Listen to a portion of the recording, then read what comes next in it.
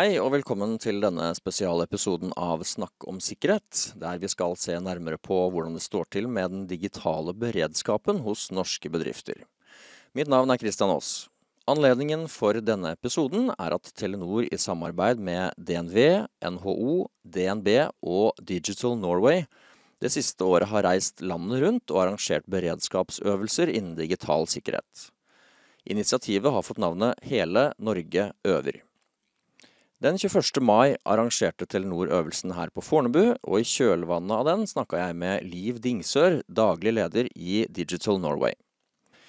Vi snakka bl.a. om hennes erfaringer om digital beredskap, og om det viktigste bedriftene bør ha på plass. Men først skal vi få en stemningsrapport fra Leif Vedø, som etter øvelsen var ute og snakka med noen av deltakerne om deres viktigste lærdommer og ikke minst med direktør i Telenor Norge, Birgitte Engebretsen, om hvorfor det er så viktig å styrke norske bedrifters beredskap.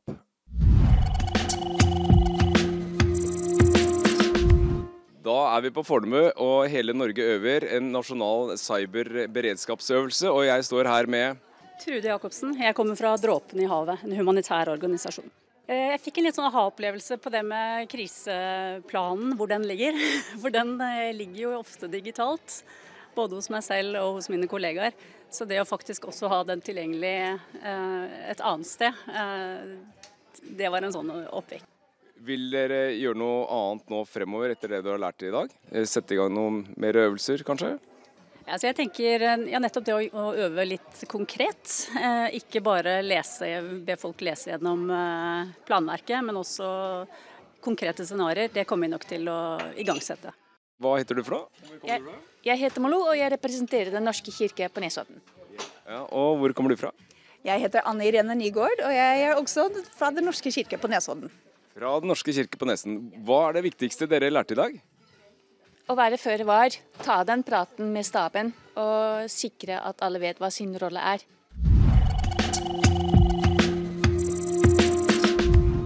Da skal vi ha en prat med Birgitte Engebretsen, eh, CEO for Telenor Norge. Hvorfor trenger norske virksomheter et sånt arrangement?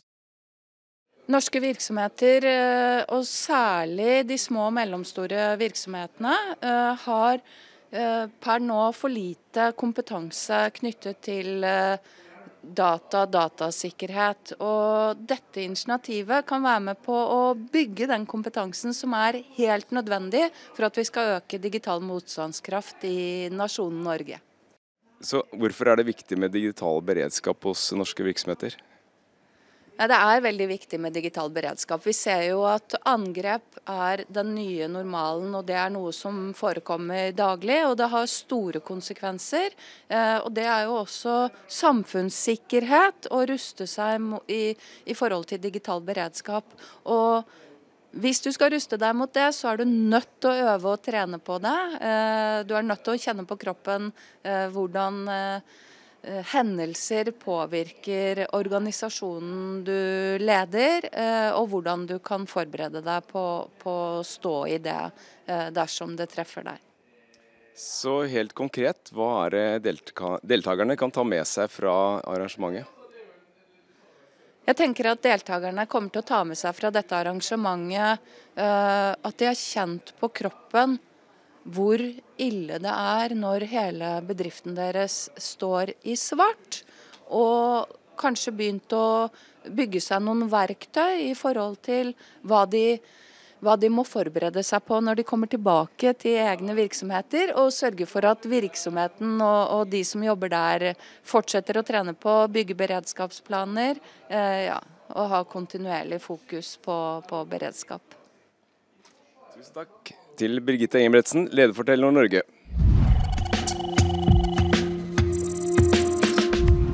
Mange snakker om sikkerhet, men ikke like mange øver. Og i denne episoden har jeg med meg en gjest som eh, er med å fortelle litt om hele Norge øver. Velkommen i studio, Liv Dingsør. Tusen takk. Så bra at du kan være med og snakke om sikkerhet. Før vi dykker ned i selve øvelsen, så vil jeg gjerne at du sier noen ord om Digital Norway. Ja, det kan jeg gjøre. Ehm, vi er en non-profit-virksomhet som ble etablert av de største norske selskapene tilbake i 2017. Telenor var en av de som var med å kalle det grunnlegge initiativet. Eh, og det handler om at eh, de store har gått sammen både for å dele erfaringer og kompetanse på tvers av seg selv, altså på tvers av bransjer og, og sektorer, men også for å sikre at man kan eh, få med seg underskogen av, av leverandørsegmentet eller små og mellomstore bedrifter i Norge, som jo er mest av. Så 98% av norske virksomheter har under 100 ansatte. Eh, og digitalisering er komplekst. Sikkerhet er eh, definitivt komplekst. Så det at vi kan ha en sånn kraftsamling som ser på hvordan kan vi liksom løse felles problemstillinger for mange, med utgangspunkt i kompetansen som sitter hos de store, det er liksom vår jobb, da. Hvordan skalerer vi dette? Og en av utfordringene det er sikkerhet, mm. og ikke minst øve på det. Mm. Så hva er dette initiativet Hele Norge øver? Altså, det er et initiativ som vi begynte å sysle med egentlig i, fjor. Eh, hvor vi så at det var en veldig lav bevissthet knyttet til at også små og mellomstore bedrifter er en, en sikkerhetsrisiko, eller, eller, en sårbarhet. Og det var egentlig styret vårt som løftet dette. Vi, I styret vårt så er det konserndirektører eller konsernsjefer fra alle 19 av de største selskapene i Norge. Så det er et formidabelt styre. Birgitte Engebretsen sitter også der. Eh, og vi spurte de hva er det som er øverst på deres eh, lister i forhold til hva dere er opptatt av i deres virksomheter. Og da handler det veldig mye om beredskap og sikkerhet, og også knyttet til at verdikjedesårbarheten. At én ting er at de store har kontroll, men eh, nå, jo, nå, er det ikke bare der det er sikkerhetsrisiko. Det er jo også i, hos de mindre som er eh, i leverandørkjeden. Så Derfor satte vi i gang med et initiativ hvor vi fikk med oss spisskompetanse fra noen av eierne. Så Telenor og DNB og DNV og NO Eh, ble med oss sammen med Secure Practice, som er en norsk startup. Som skal trene en million EU-borgere. Har fått penger fra EU til å gjøre det på mm. sikkerhet. Så tenkte vi de må da jaggu meg ta Norge òg. Så derfor er de med oss og har utviklet den øvingsteknologien som vi bruker i øvelsene. Aha, nettopp. Ja, så vi gikk sammen, og så har vi brukt måte, spisskompetansen fra Telenor og DNB og DNV. Og så har vi brukt det, mobiliseringskraften til DNB og NHO regional for å få med oss eh, egentlig bedrifter over hele landet da, til å møte opp og være med å øve sammen med oss. Og dette er ikke bare én, én dag eller én økt? Jo, nei, det er det ikke. Det er en landsturné, rett og slett. En nasjonalturné. Mm. Så jeg vet ikke hvor mange steder vi ender opp med. 25 eller 30. Altså, vi, har, vi, har vært, vi, har møtt allerede flere tusen virksomheter, og skal nok møte flere tusen til.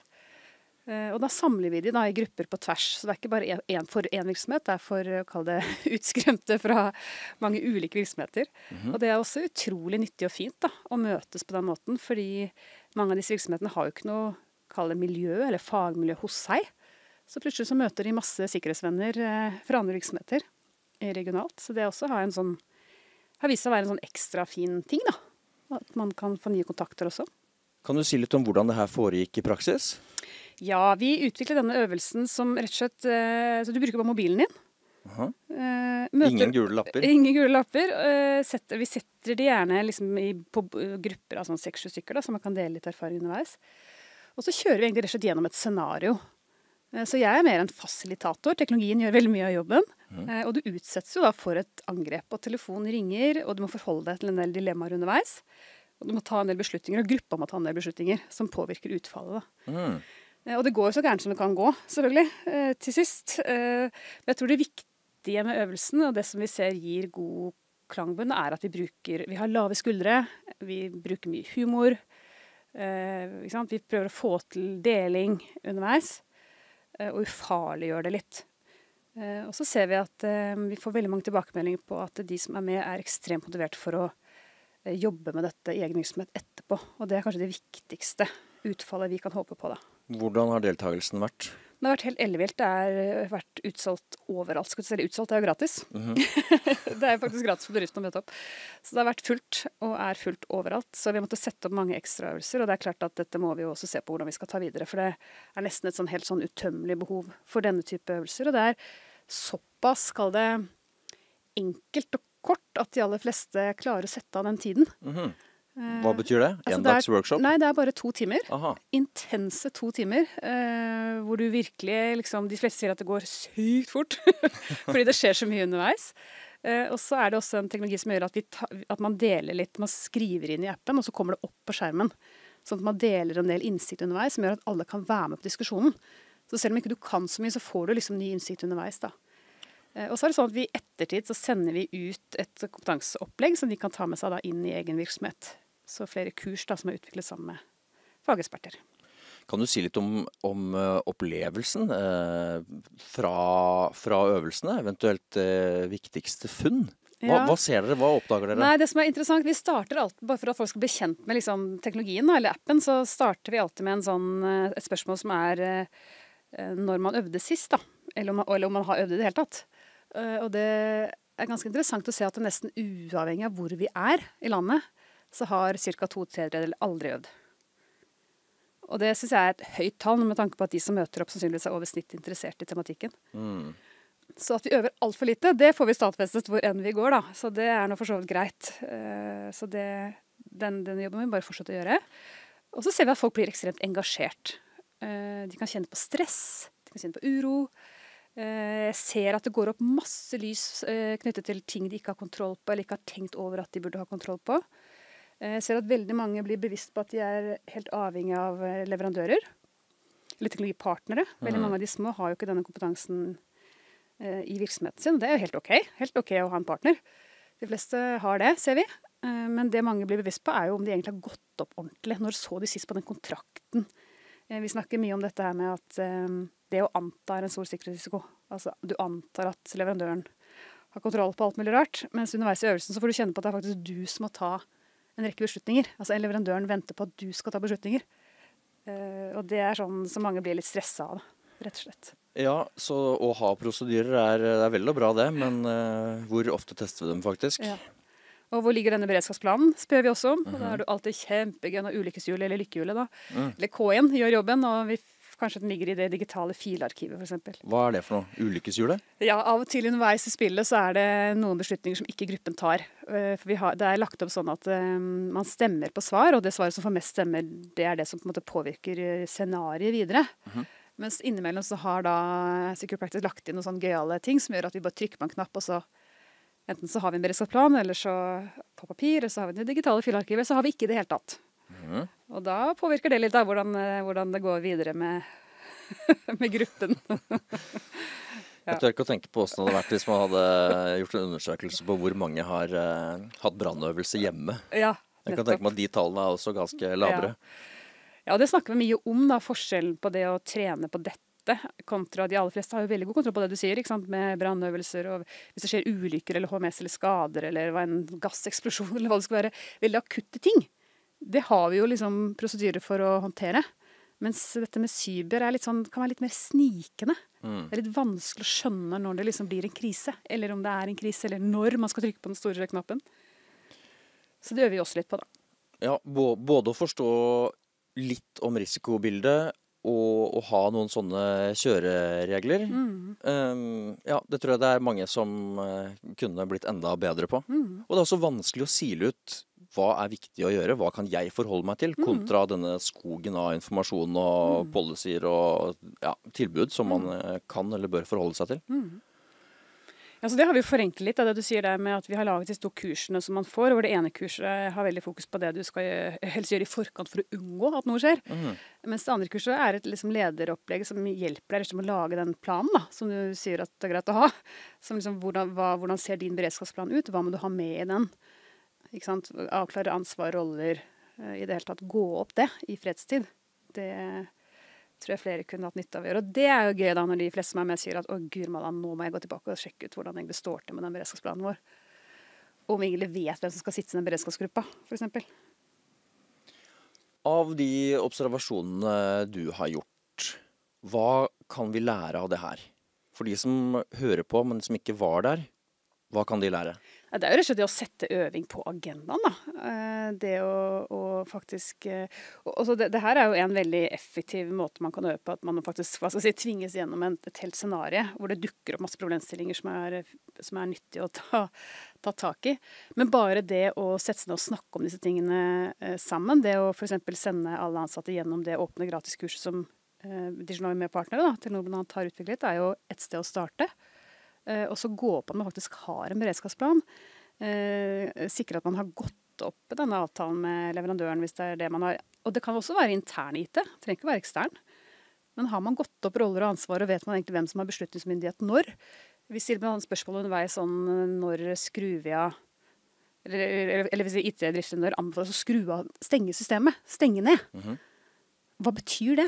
Å stenge ned? Er det noen som vet hvor den knappen er, liksom? Ikke sant? Den ene knappen, ja. Den ene knappen som stenger ned det systemet, det er ingen som har det. Og veldig få har jo tenkt gjennom hva det egentlig betyr å stenge ned et system trygt. Eh, på en måte som også gjør at du kommer deg opp igjen, hvis det, forhåpentligvis du skal det etter hvert. da. Eller hva du gjør hvis du sitter der med en sånn rød skjerm med et sånn gøyalt uh, sånn gøyalt uh, ransomware-sak da, hvor du skal betale noe bitcoins. ikke sant? Hva gjør du i de, i de sekundene der? Hva gjør du? Og det øver vi på. Og det at alle vet det. Uh, ikke bare ledere, men faktisk det kan være de som kommer først på jobb. Så det vil si at alle må vite hva de skal gjøre. Så en del sånne ting drar vi gjennom da, uh, og øver på. Og det tror jeg nok flere kunne, med fordel kunne ha gjort en gang i året som med brannøvelse. Du nevnte at uh, deltakerne de blir introdusert for en del uh, dilemmaer, problemstillinger, underveis. Mm. Så, har de, så, har de, en app som de bruker, følger med på, kanskje logger ting i. Mm. Mm. Hva mer? Nei, Det som er spennende, er jo egentlig en ting er at de deler refleksjoner sånn at vi får det på tavlen så alle kan se, men det vi bruker mye tid på å diskutere, er jo dette med mm, at dette handler om sikkerhetskultur, da, eller sikkerhetsarbeid handler om mennesker. Um, og hvor viktig det er. Og Det er derfor vi prøver å ha en liksom, liksom, som jeg sa, dette lave skuldre og god stemning. Fordi det handler om å gjøre det trygt å si fra, f.eks. Vi snakker mye om dette her at hvis du har vært utsatt for et angrep, det og hvor krevende det kan være å finne ut av når uh, systemet ditt er virusfritt. Uh, og når vi stenger ned, og alle kan vi jo tulle litt og liksom lage litt sånn uh, rollespill hvor vi later som nå sitter alle de ansatte nede i kantinen og alle er stressa, og, og, det er litt sånn informasjonsvakuum, og det sitter i hvert fall fire stykker med kjempehøye skuldre fordi de trykka jo på en eller annen den der lenka, det Excel-arket på fredag jeg trodde jeg skulle gi en liten feedback. Så veldig mange mhm. sitter med sånne følelser at de har jo trykka på et eller annet, og så har de bare ikke sagt fra eller bare skrudd av eller tenkt at det gikk sikkert fint. Mm -hmm. Og så sitter man nå og kjenner at åh, kanskje jeg er ansvarlig for at hele selskapet nå går nedenom og hjem. da. Så den der, den der, det kulturarbeidet og det å snakke om det å si fra, si fra raskt hvis man tror man har gjort noe gærent, at det er kjempeviktig. Mm. Uh, og at ledere også må gå foran. For vi blir jo, vi gjør jo alle Nå blir det jo så profesjonelt også med kunstig intelligens. Altså, vi kommer jo aldri til å bli lurt. Vi kommer til å bli lurt hele tiden, alle sammen. Så det at vi er flinke til å skape kultur for å si fra. Også fordi veldig mange tar det veldig personlig. Vi, det er mange som deler ganske sånn ja, litt sånn skremmende historier med f.eks. En, en, en, en, som jobbet på regnskap, som endte med å betale ut 450 000 i en sånn såkalt direktørsvindelsak. Og kjente sånn på det at hun ønsket å betale det selv, av egen lomme. Og det sier liksom noe hvor personlig det kan bli mm. når du gjør feil. Eh, så at, at, vi må på en måte ta vare på menneskene også. Eh, oppi, det, oppi det hele, da. Det er utrolig viktig høres ut som eh, det å skape noen uh, arenaer for, for åpenhet mm. også på det området her er viktig. Mm. Ja. Og vi ser når vi er rundt at eh, når vi setter i små grupper at det er mange som har et enormt behov for å dele. Som kanskje ikke har noen arenaer for å snakke om disse tingene og dele bekymringer og, og spare om måte, mulige løsninger i virksomheter med små ressurser. Da. Hvordan gjør man det? da?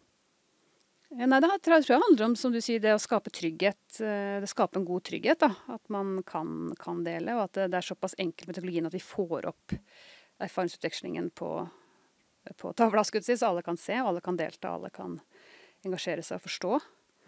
Eh, men så er jo det et arbeid som må videreføres når man kommer tilbake. da. Mm.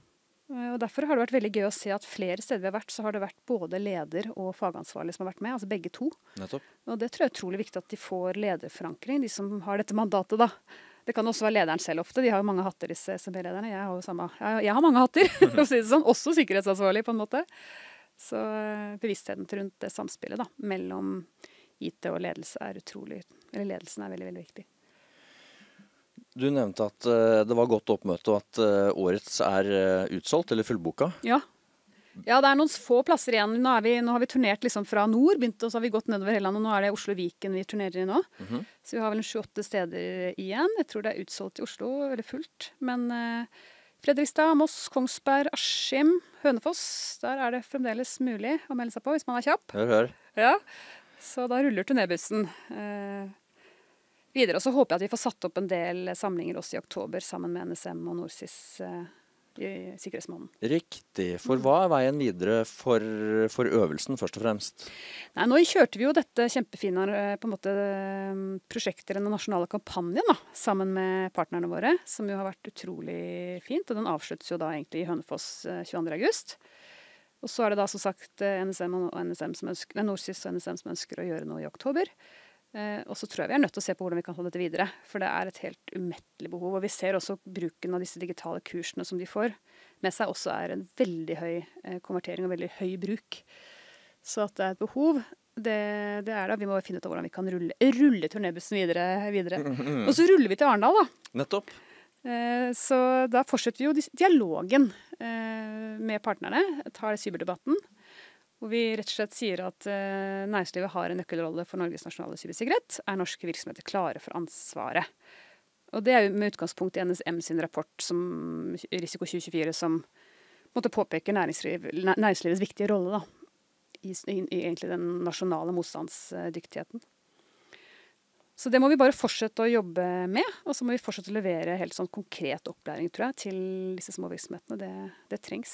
Mm.